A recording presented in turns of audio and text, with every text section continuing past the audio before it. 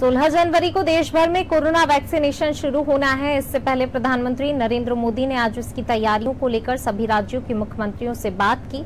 मोदी ने कहा 16 जनवरी से हम दुनिया का सबसे बड़ा टीकाकरण अभियान शुरू कर रहे हैं। यह हम सभी के लिए गौरव की बात है। जिन दो वैक्सीन को इमरजेंसी यूज़ की मंजूरी मिली है, वो दोनों मेड इन इंडिया हैं। इस मीटिंग में मुख्यमंत्री भूपेश बघेल, स्वास्थ्य मंत्री टी एस सिंहदेव सहित कई मंत्री शामिल हुए।